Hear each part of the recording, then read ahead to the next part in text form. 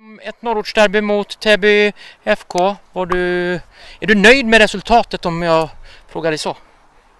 Ja, alltså resultatet 3-1, klart man blir nöjd. De får en straff här i slutet. Vi ville gärna hålla nollan men, eh, men eh, 50-50 duell som de får och det får man väl acceptera. Men annars tycker jag inte de hade så jättemånga chanser liksom. Utan jag tyckte vi stod på rätt bra defensivt och offensivt. Det är vi extremt starka.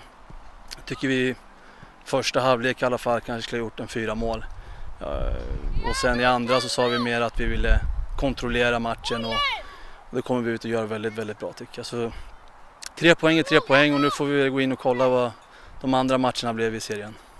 Hur löd er analys inför den här matchen? Ja, vi har rätt bra koll på Täby, liksom hur de spelar sin fotboll och, och så att eh, analysen var väl att ha mycket boll, skapa kombinationer framåt med, med en touch liksom. Det, ena målet var ju helt fantastiskt här, jag vet inte om ni fick med det men det är ju kombinationer på en touch som är helt, det går inte ens att stoppa liksom. Så att eh, analysen var att spela högt bolltempo, få dem att jaga, eh, få dem att hitta längre som de också vill göra. Eh, och det hade vi liksom en bra, plan, bra plan på hur vi skulle stoppa. Så att, eh, jag tyckte vi gjorde väldigt, väldigt bra. Eh, så de gör ju inget spelmål liksom. Så att, så att analysen var, det stämde rätt väl liksom. Vad sa du till killarna i halvlek sen?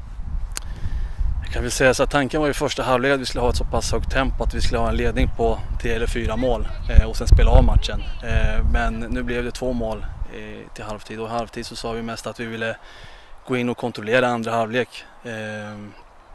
Och spela vårt spel och få dem att jaga och komma upp i press och vi vet ju att de, de, även om de ligger under så är de inte så jätteförtjusta i att gå upp och pressa liksom och gå bort i sina positioner och när de väl gjorde det så spelade, då visste vi att vi kunde spela oss förbi deras press varenda gång och det gjorde vi idag fantastiskt bra tycker jag. Så att, eh, och det såg man ju på deras spelare också när de pressade att när vi spelade igenom pressen att de, de, de tappar ju hoppet liksom. Eh, och då spelar vi av matchen i stort sett. Jag önskar lycka till. Tack så mycket.